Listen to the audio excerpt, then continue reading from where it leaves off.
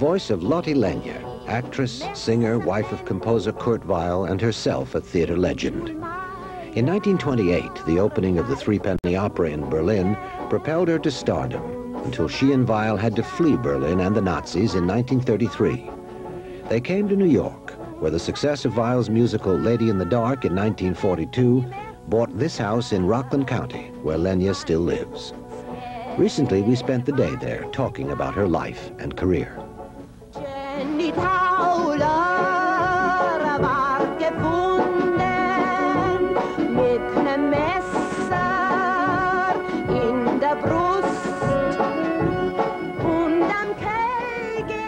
Born Carolina Wilhelmina Charlotta Blamauer in 1898, Lotte Lenya is still active in her career.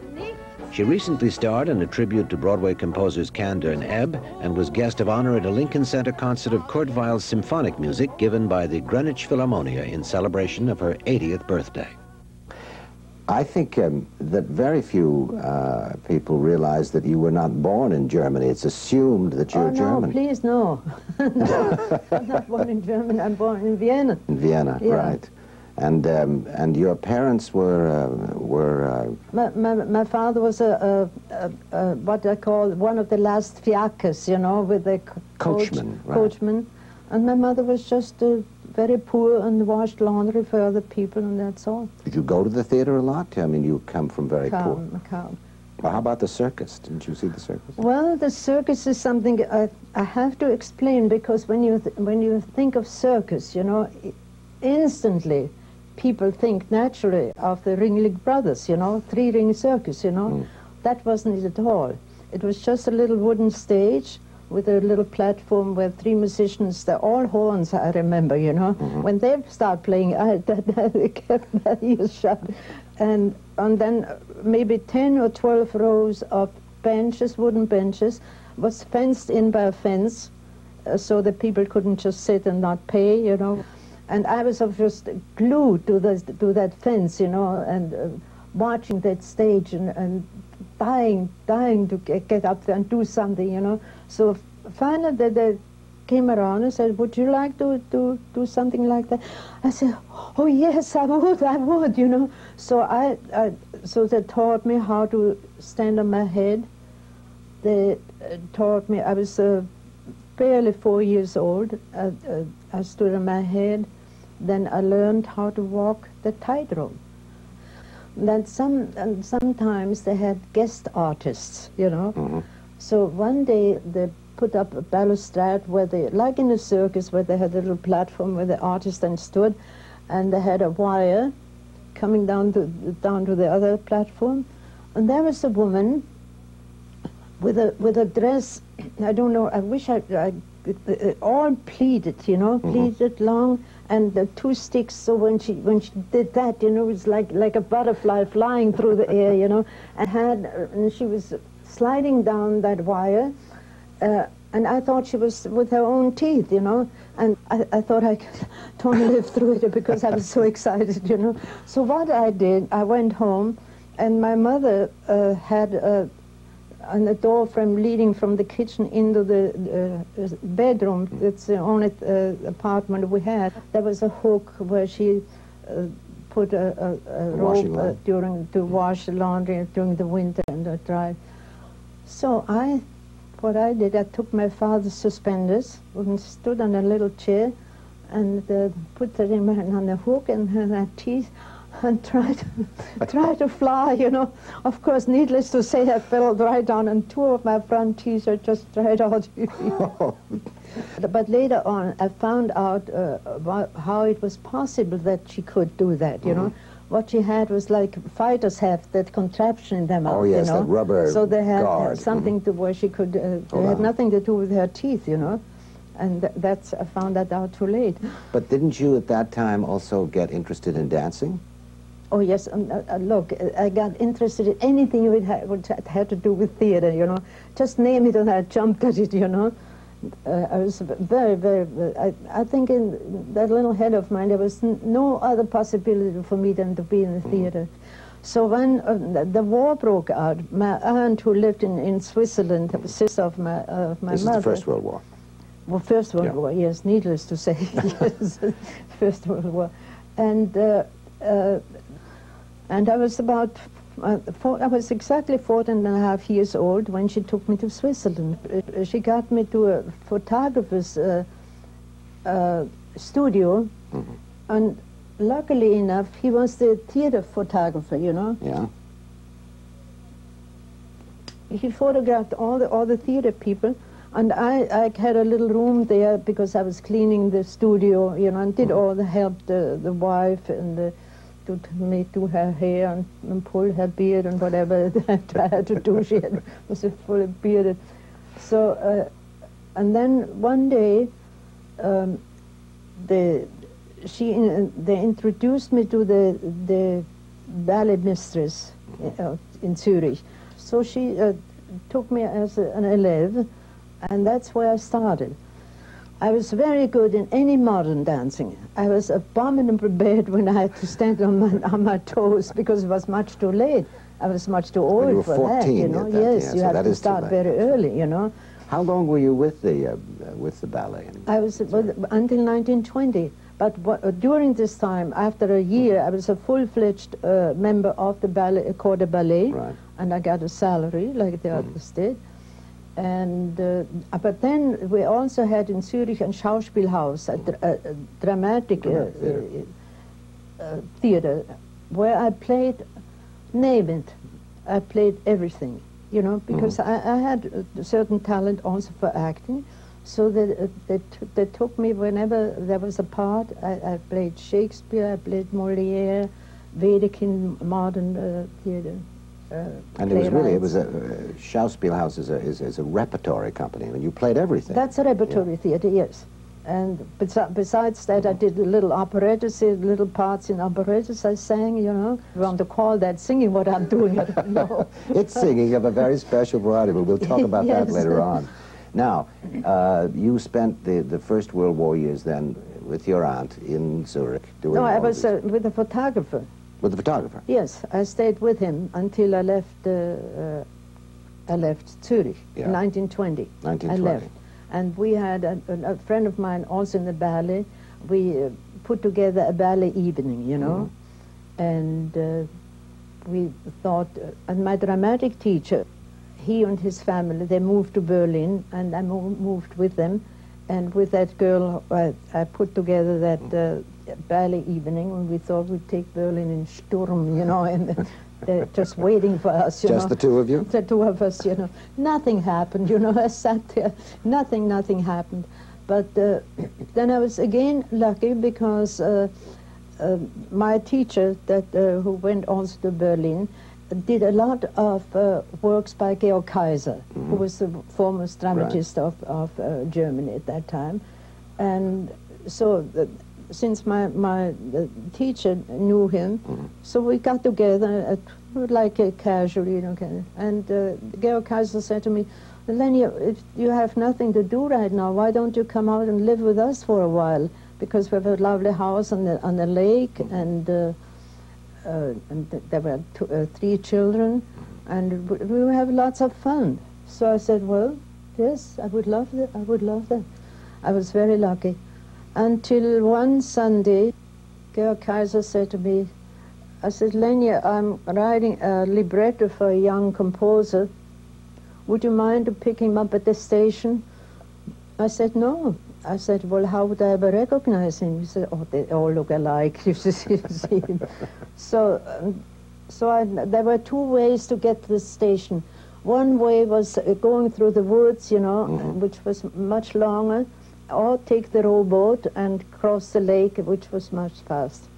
So I took the boat, and I came to the station, and it was not very hard to recognize Kurt Weill because he was the only one who was standing at the station. There was nobody else. So uh, I said, "Are you Mr. Weill?" He said, "Yes." With that very soft voice of his, an incredibly uh, lovely voice. I said, "Well, Mr. Weill, would you?" And I remember him so well, the way he stood there with the little, like uh, going to a bar mitzvah, you know, with a, little blue, blue outfit, a little t- fly tie, those sort Bow tie. uh, and then that Borsalino hat, the musician's hat at that time, very fashionable. I said, well, would you mind entering our transportation here?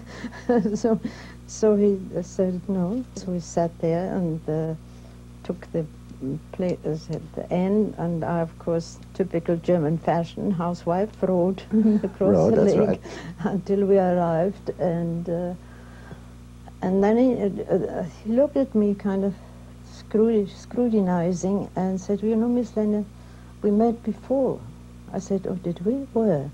He said, you came to an audition for my uh, Zaubernacht, which magic night, uh, was a children's ballet in 1923, and I went on stage, and he said, the, the producer said, Miss Lenya, I want you to meet our composer, Kurt Weill, and he pointed to, the orchestra pit, but I couldn't see him because he was under the orchestra pit, you know, and he only said very softly, hello, Miss Lenya, and I said, hello.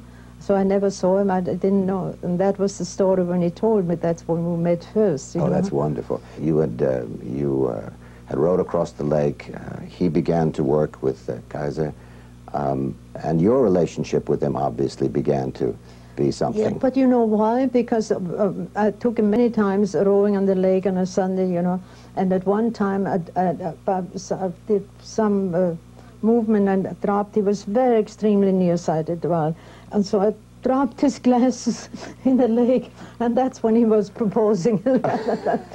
When I said yes, I'll marry you, and that we were living two years uh, together, and then we married in 1926. in 1926. Mm-hmm.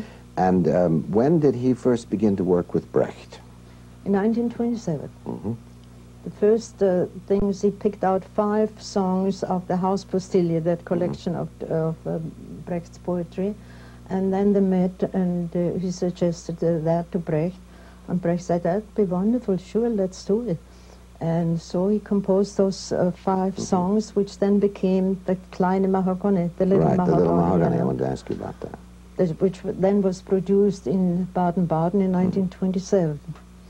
And uh, Now you were in that was I? yes, very visibly. very Yes. visibly. Tell, tell about the. Um, tell us about what you did in that. in I sang Moon of Alabama, Mm-hmm. Benares song with uh, another uh, other singer. She was a coloratura from the Staatsopera, and I was a coloratura of a different kind. Mm-hmm. Different kind of opera, yes. So we, but we, we together it was she did the high uh, coloratura Mm-hmm. part in, the, in Moon of Alabama, and I kept mine um, comfortable low, you know. so Which you've been doing wonderfully well all your life. yes, and. Uh, well, that's what I what, what I did Now, there. it was a success. a tremendous success, and it was very significant uh, because uh, this uh, Baden-Baden at that time was like Tanglewood is, you know, highly sophisticated, and there we came, you know, in a, a box ring. Out came those six characters, you know, two girls and four men with a bowler head, you know.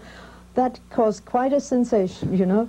And Brecht, with his uh, intuition, you know, he's, he gave us all little uh, whistles. He said, um, they will, they will five, and they will whistle, you know, at the end, which means different in German. It means disapproval, you know. Right. Here Whistling means does mean approval, you disapproval. know. Here it's approval, right. But uh, in German it's disapproval. So uh, surely, uh, uh, when we finished, you know, that uh, storm uh, broke loose with whistling, applauding at the same Mm-hmm. time, you know, uh, and so we whistled back.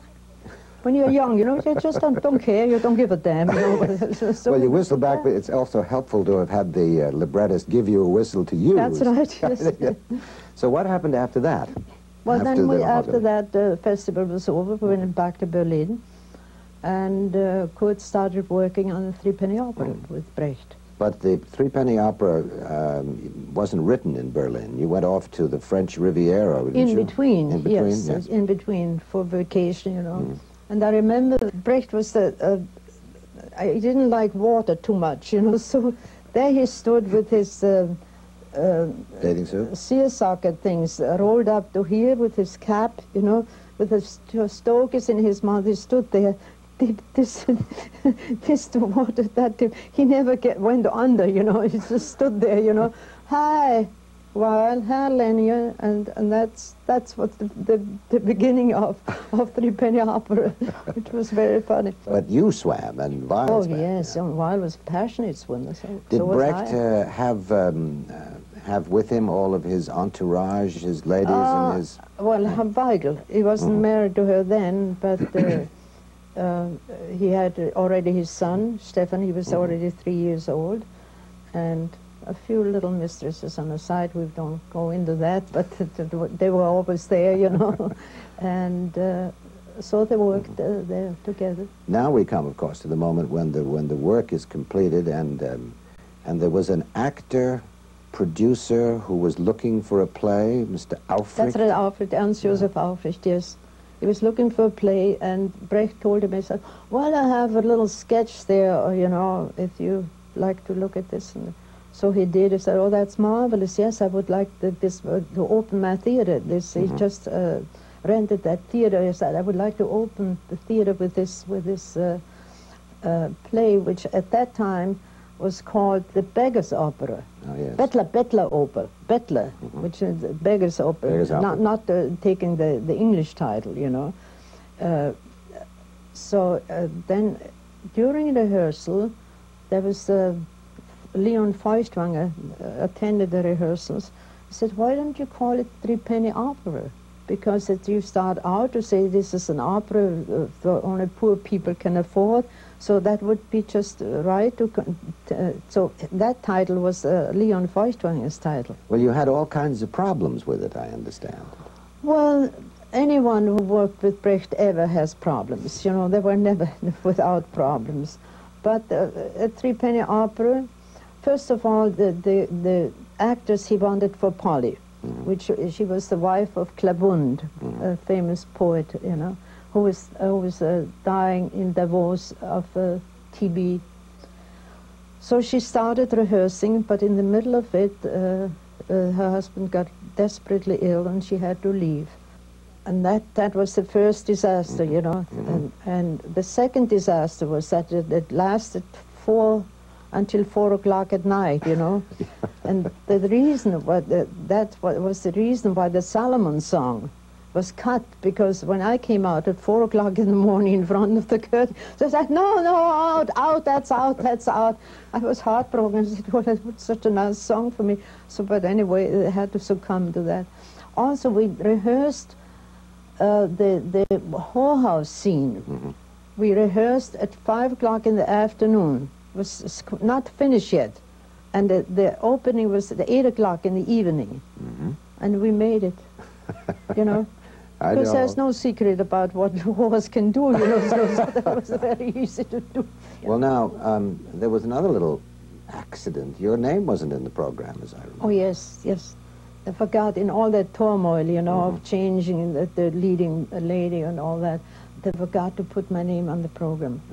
So when Kurt saw that, right in, in, the, in the mission, he saw, got the program, he came with it.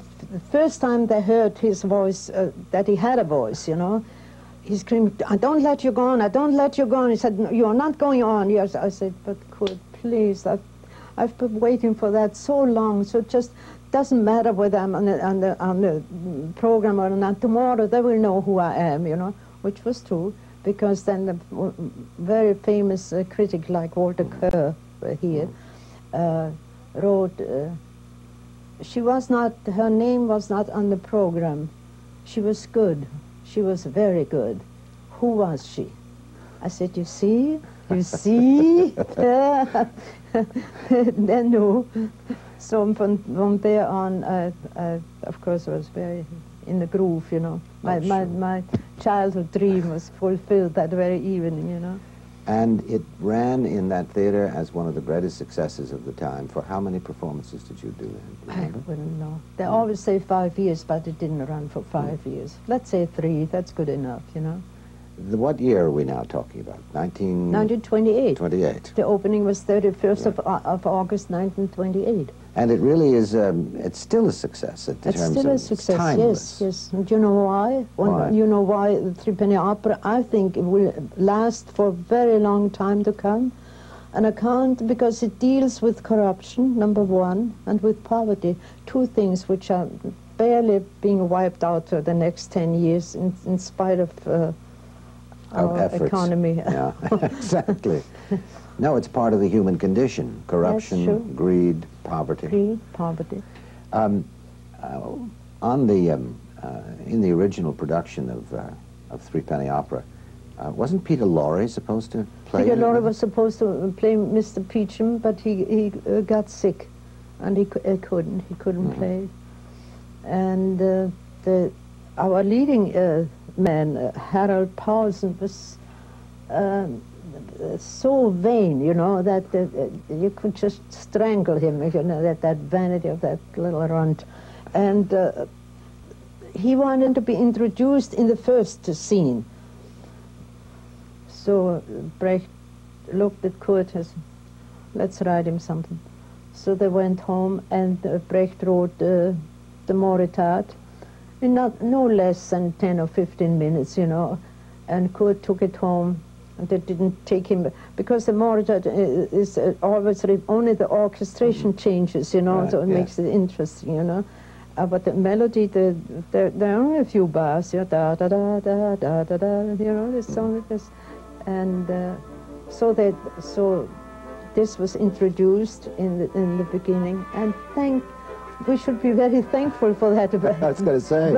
that vanity of his, you know, that this became a world fa- famous tune. You, uh, you made the movie of uh, Three Penny Opera. Yes.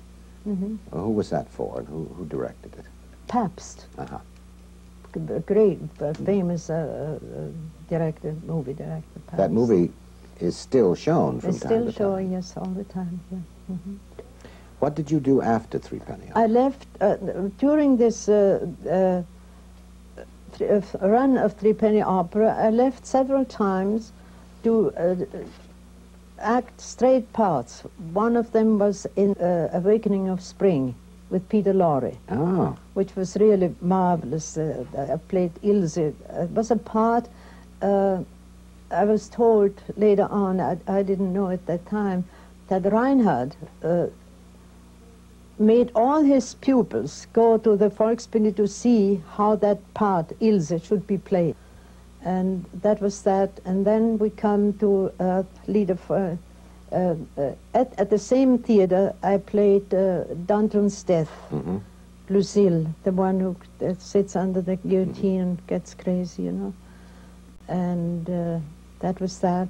And after that was, uh, I played, which was very funny, it was called The Song of Hoboken.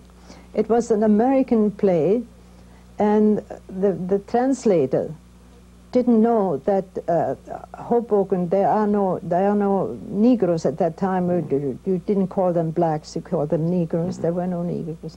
The mistranslation, of course, of in Song of Hoboken um, was really supposed to have been Song of Harlem.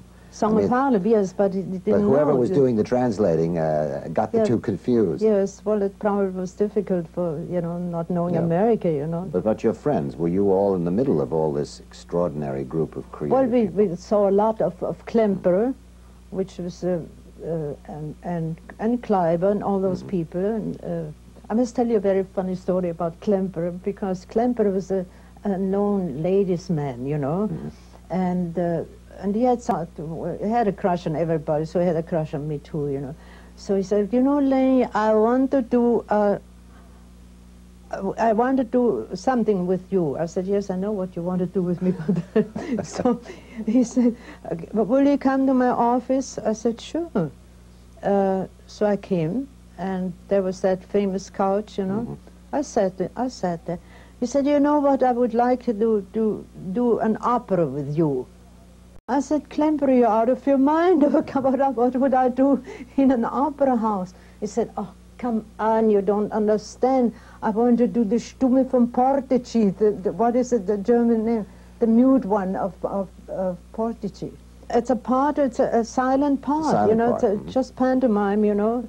Well, anyway, we never got we never got to that. that was that was it. That's what he wanted to do with me, and I got out of the uh, uh, out of the office without uh, Without any difficulty. Yeah, yeah. And then came, however, the rise and the fall of In the city 1930. In 1930. was the, the opening in Leipzig. which was, uh, and then a year later in Leipzig there was a big riot because the Nazis were already very much in evidence, you know. And the first, the opening night, it was such a riot. They, they, they applauded, they whistled, they stamped their feet, you know, and, all, and, uh, and they had to, uh, under great uh, difficulties, finish the opera. So the second night, they had to keep the lights on because on outside the brown shirts were marching up and down, revolting against this. And, uh, and then a year later, uh, Aufricht, who did also Threepenny Opera, mm-hmm. producer right, of Threepenny Opera, he took it to Berlin, and we opened in Berlin, where I then played Jenny, and uh, uh, and was uh, went through without any protest, nothing. The Berlin, Berliner was geared for that mm-hmm. kind of uh, theater, and it was it wasn't a big success uh, like you call it here, big, but it ran for about 60 times, which was mm-hmm. quite quite a lot for an opera. After the rise and fall of the city of Mahagonny, though, then you had to, you had to Not get ready quite. to leave Germany. Not quite, no, no. Not quite? No. What happened uh, next? And we left in 1933. We had to leave overnight. Why overnight? Because it was, we better, uh, otherwise we would be in Auschwitz if we wouldn't have left. Yeah. You had a friend who Yes, who you. warned us, you know. Yeah. Uh, uh, uh famous uh, publisher who, who, so, so we were told that, now I'm not uh, 100% sure that this is the story, but we got out in time, you see, that he, uh, the publisher, he had all those people like Brecht and Feuchtwanger and all the people on his, uh, in his uh, catalog. And uh, he, we were told he joined the Nazi party in order to be able in case something drastic would happen, that he could warn all those people to get out of Germany. And that's what, what happened. He warned us, he warned Brecht, and we all left. Surabaya Johnny, warum bist du so That was what happened through Berlin. On our next program, we're going to journey with Lotte Lenya from Paris to London and on to America.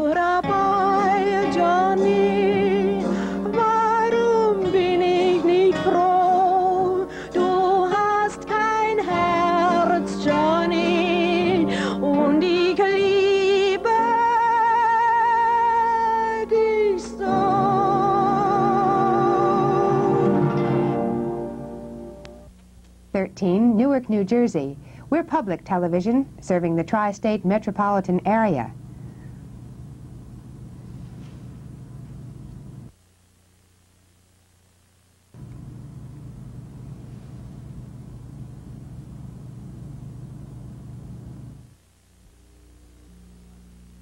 Funding for Skyline has been provided by grants from manufacturers Hanover Trust Company. Additional support has been provided by the Nate B. and Frances Spingold Foundation and by the members of 13.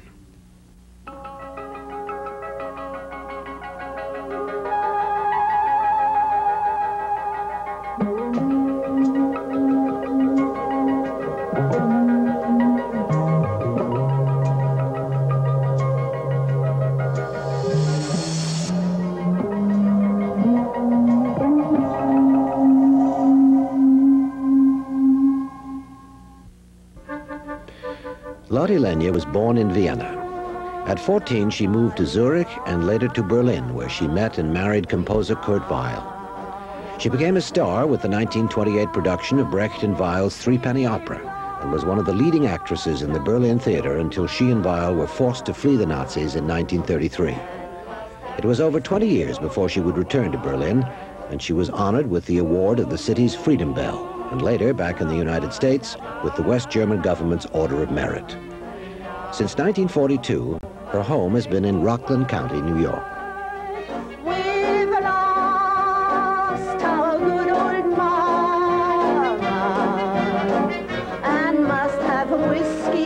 We continue our conversation now at the point where Lenya and Weill arrive in Paris after their flight from Berlin. In Paris, you began to work with, uh, you worked with uh, Balanchine, you did... Uh, oh, that was, now we go back to 1933. Mm -hmm. That was, uh, was called uh, Le Ballet 1933. Mm -hmm. And Balanchine was a very young uh, choreographer, and Lincoln Kirstein mm -hmm. was there, and he formed his, his ba ballet. And we did the Seven Deadly Sins, which was very courageous of Balanchine, I must say. And uh, there was a very famous uh, dancer who, uh, Tilly Losch, and uh, so with her she played uh, Anna. And uh, so with Balanchine it was very funny because Balanchine didn't speak French very well. German, not a word. He didn't understand what that goddamn thing was all about, you know. But just so, so then it was translated for him from German into French, which he didn't understand so well either, then from French into Russian, you know. And he said, I still, I still don't know. well, anyway, he did it, and he did a beautiful job, the way he did here, you know. I think, if memory serves, that was the last collaboration between... Between Brecht and Brecht, yes. Yeah. And then uh, Brecht was... Uh, he, he wasn't in Paris when this, mm. when this happened uh, he wouldn't have liked it anyway because, uh, you know, the way Balanchine did it, so he did it beautifully, but not in a Brechtian epic style, you know, all that nonsense. Anyway, so uh, when uh, uh, uh he, Brecht lived in California, he came, he wanted to come back to, to Weill, and he, he, wanted him to do the good soldier Schweik. Mm -hmm and so Kurt invited him to come here, and they might uh, be able to work here, you know. And that was very funny because the moment I have a guest room up there, naturally like any guest room with the curtains and the rug, you know. So Brecht arrived, and 10 minutes, about um, um, not more than 10 minutes when I went up to, to bring the towels, you know, the rug was shoved under the bed, the curtains were down. Uh, there was a string uh, across uh, the, with a red star hanging there, you know. This, the transmission, in, in five minutes, ten minutes, uh, the whole room, you wouldn't have recognized it again, you know. so I brought the, put down the towels, and that's all I could do. I could, a Chinese scroll down the wall, you know, all that. That was great. Well, now, in 1935, you, you came to this country for the first time. Mm -hmm. And uh, what was your, uh, what was your what was your reaction to arriving here? Oh, marvelous! But you know, for, for us it was like uh, it was really like coming home, because we uh, in in Berlin we read all of American literature, we saw all the American movies, the skyline of New York was as familiar to us as you Star Spangled Banner is, you know. so when we came down the, the what do you call the blank. Uh, from a ship. Oh, you mean the gangplank? The gangplank. Mm -hmm. And we looked at it first. And you know what we did? We went to the uh, producer uh, uh, place at the St. Moritz Hotel, mm -hmm. and the most exciting moment was one of the most exciting ones going up to the 22nd floor, you know, which is uh, the, the skyscraper. Skyscraper, yes. And, and, then, uh, and then we dropped our bags and went down on Broadway and saw The Dark Angel with Vilma Banky and Ronald Colman. That's what, but that was our first. That was day, your first day in New York. First day in America. Yes, yes. Um, you must have had a few amusing incidents with the English language. I had one uh, among many others, but that I think that was the funniest one when I went to Saks Fifth Avenue and uh, bought a sweater and I asked the salesman, would you please rape it for me? and he said, sorry, madam, but he's not my type. Which I didn't understand at that time. His answer I didn't understand, but later on when I told people, they told me what it, what it meant. And very shortly after your arrival here, you began to work uh, with Max Reinhardt. Yes, on Eternal Road. While you and, uh, and Weill and Werfel and, and Reinhardt were all involved in the Eternal Road, Kurt Weill began writing uh, musicals with other collaborators. Oh, he's, he's not a, he had, uh, his intuition was just something fabulous. He said, that can't last, that, that eternal road just simply can't last, uh, so I better start something else. And uh, so he went uh, down to North Carolina and started working on that uh, Johnny Johnson. Mm -hmm. And Johnny Johnson was for, for a while a tremendous, really big success, uh, prestige success. Financially, nothing, you know. what came after Johnny Johnson? Knickerbocker Holiday, that was the next one, yeah. Johnny Johnson was 37 and mm. 38 was Knickerbocker Holiday which also was very uh, an account, also on account of Walter Huston, who was so beloved in this country, you know. Mm. So that was a fairly good success. Uh, well, it was a, it, like Mack the Knife and the Three Penny Opera. Knickerbocker Holiday produced one of the September classics, song, a September yes, song, of course, mm -hmm. which is, you know, sung these days mutilated sometimes. Every September, my royalties go up on account of, on account of, uh, of, September song, you know. So just like that, it doesn't end. You know. Then we came to, of course, uh, uh, the fact that um, during this time uh, you were uh, not involved in those shows, but you, you sang in a nightclub, and didn't you sing in? Once. Only once. In the, the, at that time, it was called the Ruban Bleu. Mm -hmm and 56th Street, run by Jacoby, Jacoby, who also then run the, the Blue, Blue Angel. Blue Angel, right. Blue Angel. Mm-hmm. And he was terribly nice to me because I sang uh, songs of Kurt Weill, which nobody at that time nobody knew, and not very fitted for a nightclub. But uh, after the third show, you know, then a better audience came in. All those nightclub people then came, you know, mm -hmm. and then Cole Porter came and people like that, you know. Marlene Dietrich came, crying her fam famous tears like she did.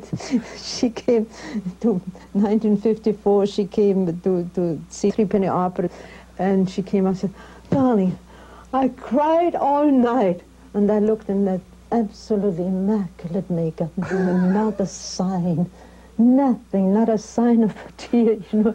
I said, oh, did you? Oh, I'm so sorry, you know. I cried all night. She cried inwardly. I cried all evening, she said, yes. Inside. Inside, exactly. Yeah. And now... I like Marlene, a lot, but this, this was just a little bit too much, you know.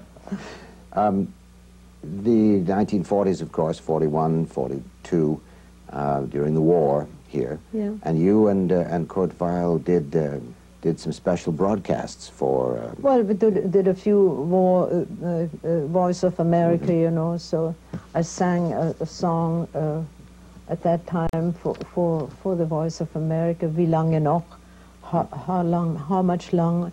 It was really an attack of Hitler was meant in, in that song, you know. Mm -hmm. Actually, those, um, those Voice of America broadcasts and those songs they were the only time that you and Kurt Weill worked together. He was at the piano. He was at the piano and you were singing. Yes. Wie lange noch, wie lange noch, wie lange.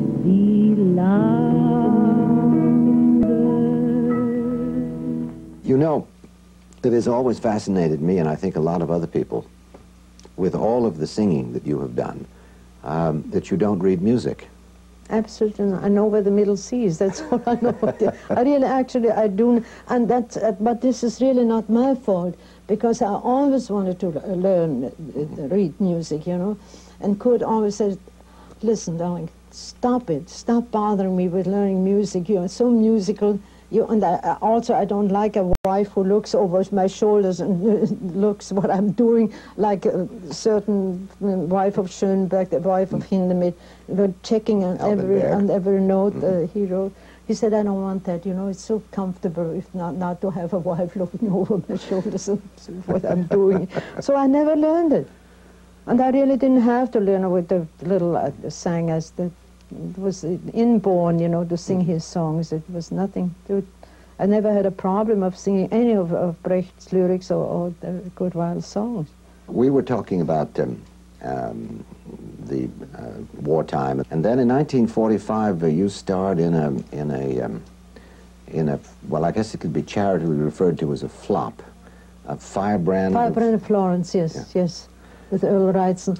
And the, the way, why I think we, we tried, because it's a marvelous, has marvelous lyrics by Ira Gershwin, Mm-hmm. lovely lyrics, really beautiful lyrics. You knew George oh, yes, Gershwin. and we knew him very well, yes. I had dinner in his house and then Kurt wanted me to sing something for him. And I sang Pirate Jenny, all the things which so removed from George. And he, he listened and he said, you know, Kurt, she has she, she sings like a hillbilly. and at, at, that time I didn't know what a hillbilly was either. Neither did Kurt. You know. I said, "Oh, really?"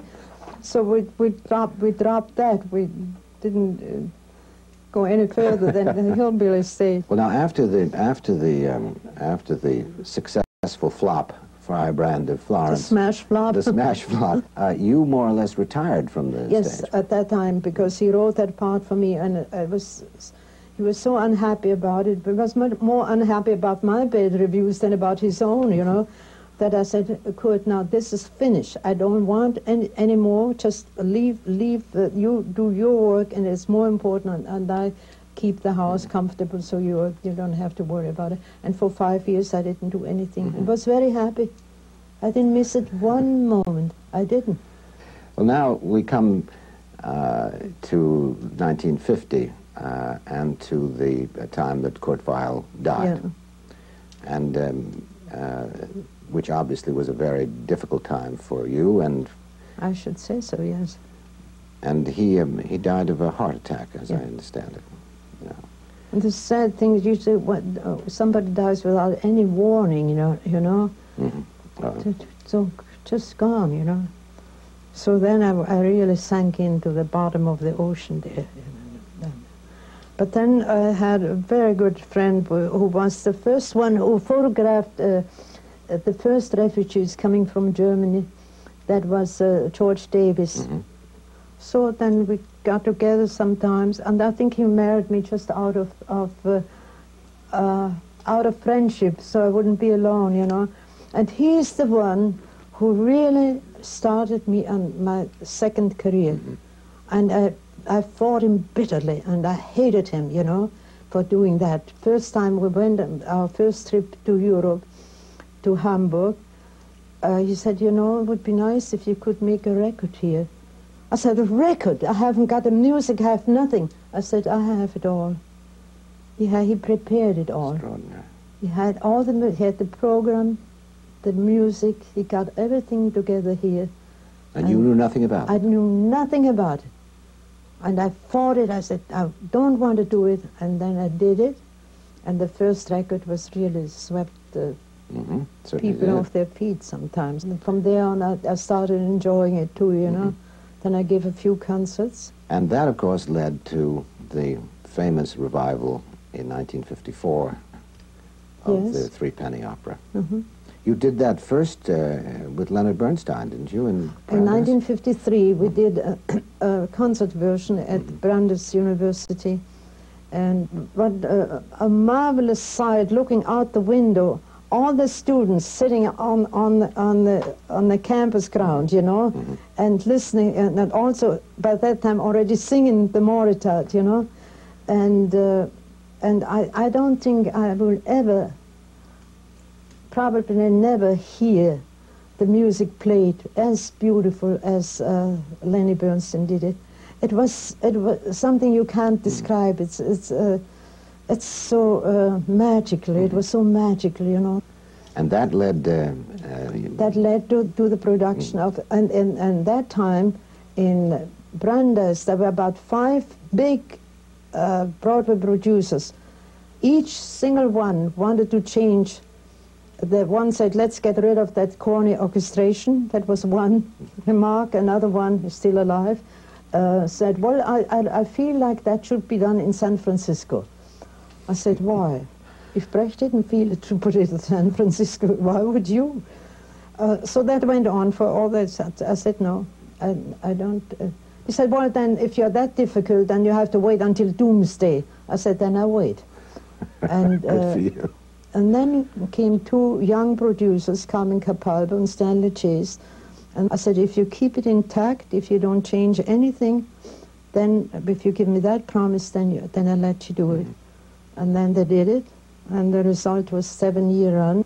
And um, I think we should mention the fact that uh, it won a Tony Award as being the, the um, Tony or Emmy or whatever. Tony, Tony? Was yeah. it Tony? And one of the byproducts, uh, one of the excitements of the Three Penny Opera in the 50s, of course, was the famous recording of Mack the Knife by, by Louis Armstrong, Louis, yes, yes. which really put that song as a song On the market. On the market. Let's say. and you, uh, you were very much involved in, in all that. I wasn't, well, I was there, Mm-hmm. you see. And uh, I will never forget because he came with his whole entourage. They were sitting there and all, and the, and the band, you never heard a, a, not a snitch of, of the melody. You know, it was like a jam session, you know, it just went on and on. I said, well, my God, when, when will they ever play the tune, you know? And then, and George Avakian, of course, mm-hmm. very used to this kind of, of rehearsal, at one point said, Ole, okay, Louis, let's go.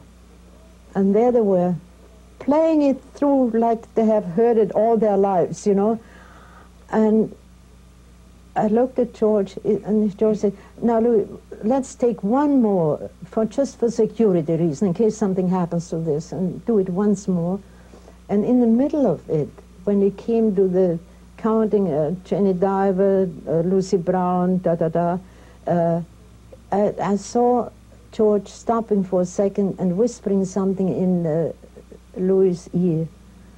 So he did it again, and he said, Jenny Diver to to Lucy Brown, da da da, La Delania. She has these chicks. Sukey Tawdry, Jenny Diver, Lottie Lanier, Sweet Lucy Brown, yeah. Now, after um, after the Three Penny, you, you went back in 1955, I believe, for your first time to Germany after after 20 years, and that must have been um, uh, a variety of difficult experiences. Not only going back, but also going back as as not the the widow of Kurt Weill, but as Lotte Lenya. When I went back, uh, I looked at that uh, completely devastated Berlin, which I loved, which was my really I loved Berlin. And I took one look, and it shows there's a picture of mine, which shows in the face what what, I, what I thought about it. Then I also took a taxi at one time to go to East, East Berlin. Uh, and uh, the, uh, the Berlin taxi drivers are famous for their wit. They're still witty, you know. The, uh, so we went, I took the taxi, and when we crossed the border into East Berlin, and there's nothing but robbers, you know. There was not, not a, a standing there. He said, you say, miss, our Führer always said, in 10 years, I will give you a Germany which you won't recognize. And he was right. Look at it. You you went back to uh, to see uh, Brecht. You had- Siebrecht, yes, yes. Tell about that. Well, I was disguised, you know. I thought I'd be on my way to Siberia, you know. I had a babushka on, and then I had a little uh, uh, bag with a sandwich in it because I didn't know, you know. And so then finally Brecht came down and he saw me, and it was really a very nice uh, um, when we saw each other yes. again, you know. And he said, well, what do you have on your head, Lenya? I said, well, I didn't know. And then, what do you got in your bag? I said, a sandwich, because I didn't know whether I'd ever get back to, to West Berlin. So he laughed. He said, come on, we have lots of food here. So, and um, he was sitting in a high Gothic chair with his leather cap, you know. And so I started singing without a piano, nothing there. Uh, started with the Surabaya Johnny because I thought that probably he would remember that best. And while I was singing, which is a very emotional song, is the way I sing it, which is an emotional song. So right in the middle, I stopped. I said, Brecht, uh, I want to ask you something. Now you have that theory of epic theater. Maybe you want me to sing that different, you know? Whereupon he got up, and he was very shy, uh, uh, touching you. That. So he did that to me and said, Lenya, whatever you do is epic enough for me. Oh, that's lovely. And I've I wished at that moment that somebody would have heard that because it's the true story, you know. Was that the last time you saw Brecht? That was 1955. Right. Then I re- returned in 1956, and uh, f- to do uh, Happy End. I think it was Right. 1956. That's when you and I first met. Yeah, and then uh, on the same page, I arrived in Hamburg, and on the same page, Lotte Lenya arrives in Hamburg. Bertolt Brecht died last night. Those Mm. were the two pictures. you know. I didn't realize that. I just, I, I just shiver still when I think about it. You know, it's a shock I, I, I, I got. You know, Well, then you had another shock in your own personal life. Uh, George Davis. nothing but shocks. I know. as far as that is concerned. He died in he died a stone's throw from the from the Russian border, in a, in a hotel in a in a hospital there, but there was no bitterness in George. You see, he could he looked rather philosophical uh, at every disaster, and uh, this gave me great strength. You know, he gave me great great strength. Well, he he um, he gave us um, he gave us you in the in the in these years that we've had the pleasure. Reborn, know. reborn. reborn. and um, in 1961, you made your first film after a 27-year hiatus in Every, everything uh, uh, with films with me, every 30 years, like the swallows come back every year. Every 30 years I come back with a movie, you know. In 1930 I made Three Penny Opera. In 1960 I think I made The Roman Spring of Mrs. Stone. And I adore making pictures. When I, I did uh, the From Russia with Love, uh, which is the movie that gave you the widest possible that's, public. that's my road to fame. I think that you still find people who wonder every time you walk down Well, the street. A few, the drugstores stop. That's the one. That's the one with the shoe. You know. Now, uh, in 1966, uh, there was a, um, a major moment in your life when you did um, cabaret, Tap. Berlin. and Yeah. um, and that um, uh, that was a was a, of course it was a big success, and you enjoyed it. oh, I, I loved it. I loved every minute of it. Yes. And I'm, uh, you see what I'm doing. I was so, uh, sometimes I'm so annoyed with that young girl who, d- who did uh, Sally Bowles. You know. Ca- After three, four weeks, she came back and said, I'm so bored. I said, get the hell out of the theater. You have no right to be here if you say that, you know? If you don't enjoy it until the very last moment, until the show closes, then you have no right to be in the theater. And I really, I did enjoy Three Penny Opera until the last moment. I, I just simply do, you know? I, I won't cheat my audience. While you were in cabaret, you um, you you took a leave of absence to do a yes, film, didn't you? It was called The Appointment, which was never shown in this country, but it was a big success in Europe because Omar Sharif uh, is very well known and they love him. There's one more movie I must ask you about, which I think is your last, the, the most recent film that you made with Burt Reynolds, uh, Yes, Semi Tough. yes, What, uh, what, what, what did you play in that? a masseuse. Take a deep breath. Very good. You feel light in your chest already? No? No. You're still resisting. Relax. Breathe in. And out. Good. You can scream if you want. Release the emotion. If I scream, will you stop? No.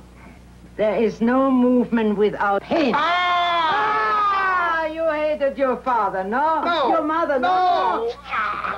no? You have sexual problems? No. You're resisting. All American men have sexual problems. You haven't done very much television as such, mm, but you did play the Gypsy Mother in, in Tennessee Williams' um, 10 Blocks on the Camino Real. you? Yes, I like that because I like Tennessee Williams. That's Yeah. why I did it. You are next. no, thanks. I'm on the wagon. Ah, there's a Chinese proverb that says, when your goose is cooked, you might as well have it cooked with plenty of gravy. ah, you're not a bad-looking boy. Hmm. Sometimes working for the Yankee dollar ain't a painful profession. Have you ever been attracted uh, by older women? Frankly, no, ma'am. well, there's always the first time for everything, isn't there? That's a subject I can't agree with you on, ma'am. You think I'm an old bag, huh? Why do you rush upstage? I'm just the motherly type. But the Camino Real was the was the only real television drama. that was that you- television, yeah. And then, um, um, lest we not forget the fact that uh, in spite of playing all the procuresses and all the villains with all the knives, you also went back and did uh, Mother Courage. Oh, that, that, you see, Mother Courage for me, this is a real challenge, you know, because thir- out of 13 scenes, she's on stage 12. And as a, a scope of Mother Courage is terrific. That, that, uh, that I, I loved. And when it came to the end, when she's all alone, had- she lost her children, and she still goes on with her wagon and goes on. For me, this was, uh, I think that was worthwhile living, to do that. We, we, we're doing this to, to celebrate a rather important milestone. I mean, it is, after all, your 80th birthday year. Uh, that was already, in- that's I know, already in the, the past. But uh, it's quite an achievement. Wait till the 90s. yes, I'll, I'll be here. I'll be here, and so will you. But um, you don't mind being 80. Not at all. I never was worried by age. I wasn't worried when I was 50. I wasn't worried when I was 70. No, I don't think about it. That's marvelous. No, You enjoy I live. living. I live. I live. Oh, it's a long, from May till December, and the days grow short when